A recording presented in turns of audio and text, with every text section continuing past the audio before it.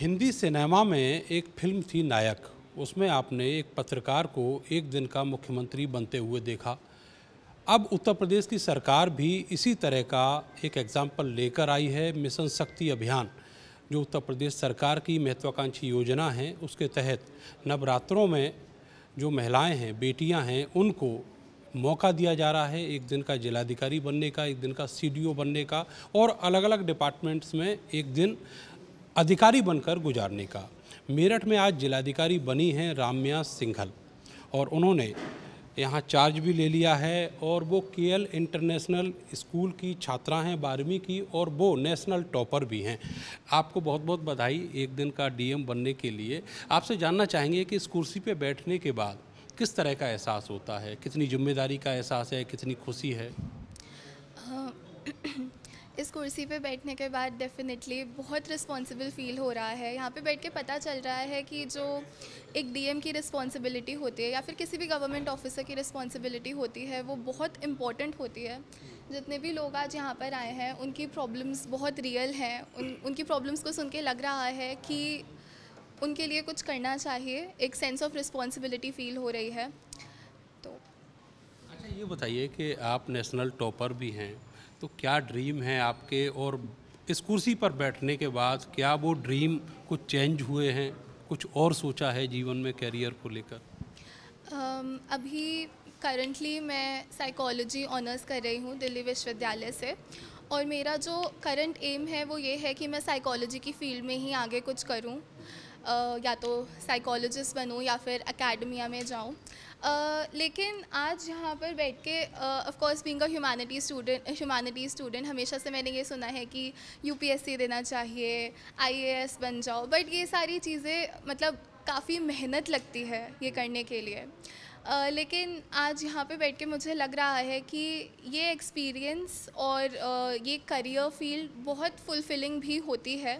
तो definitely uh, कुछ तो सोचा है कि इस फ़ील्ड में भी जा सकती हूँ।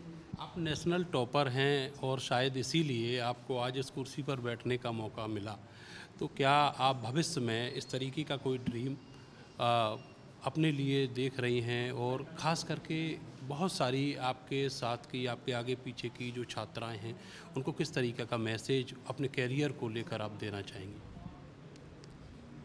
क्वेश्चन so, समझ में नहीं मेरा कहना है कि जो आपके साथी स्टूडेंट्स हैं उनको आप किस तरीके का मैसेज इस एक्सपीरियंस के बाद देना चाहेंगी? उन्हें कैसे आप बूस्टअप करेंगी?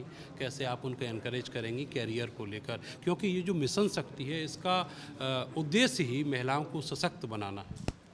अपने साथियों से जो कि या तो इस फ़ील्ड में जाने का सोच रहे हैं या फिर ऐसे उनके ड्रीम्स हैं, उनसे मैं यही कहना चाहूँगी कि वो और मेहनत करें।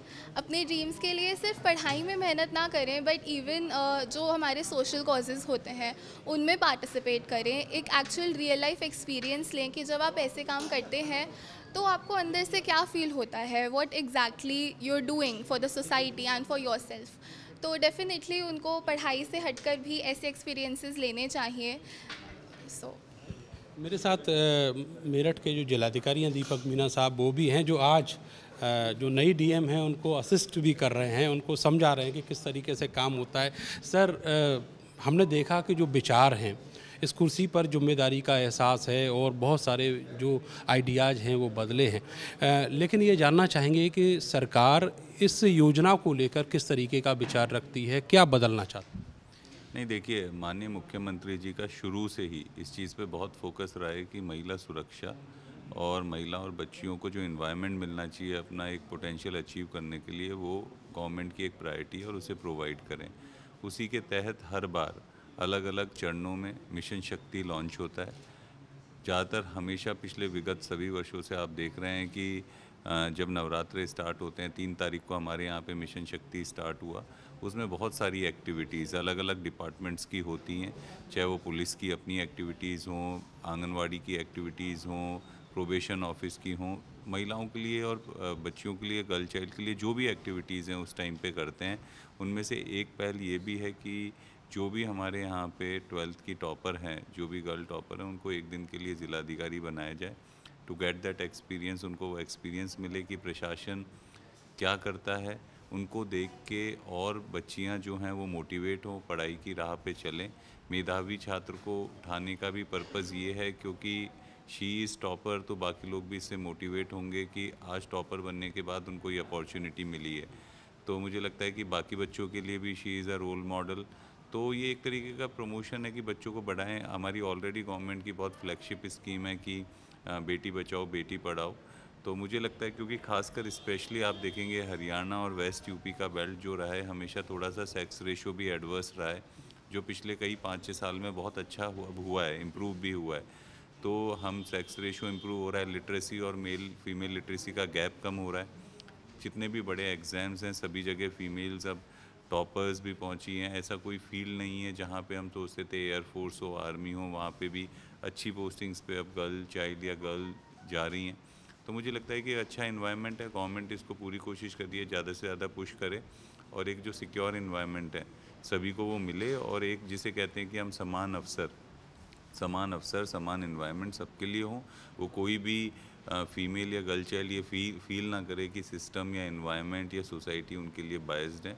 तो ये पूरी एक मुहिम है। ये लगातार चलेगी। उसका एक छोटा सा पार्ट ये है आज जो यहाँ पे रामें आई हैं और इनके द्वारा ये शिकायतें भी सुनी गई है। मुझे लगता है कि लोग क्रिटिसाइज़ भी करते हैं एडमिनिस्ट्रेशन को काफ़ी उस साइड ऑफ़ द टेबल बैठ के तो मुझे लगता है कि she will get an experience कि इतना आसान नहीं है रोज़ लोगों की समस्याएँ सुनना, उनका निराकरण करवाना तो मुझे लगता है कि ये प्रशासन की तरफ़ से भी ये मैसेज दे पाएँगे कि प्रशासन और शासन भी, और माननीय मुख्यमंत्री जी भी रोज़ समस्याओं को सुन के उनका निराकरण करने के लिए कटिबद्ध है और जो एक मुश्किल काम भी है जिससे लोग रोज़ पूरा करने की कोशिश करते हैं। बहुत बहुत शुक्रिया हमसे बात करने के लिए। तो एक दिन की जिलाधिकारी राम्या सिंगल बनी हैं और मैसेज सरकार का यही है कि मिशन शक्ति के अंतर्गत जो शक्ति हैं, जो देवी हैं, उनको और ज़्यादा शक्तिशाली बनाया जाए। कैमरा सहयोगी सानू के साथ मैं नरेंद्र, भारत समाचार, मेरठ।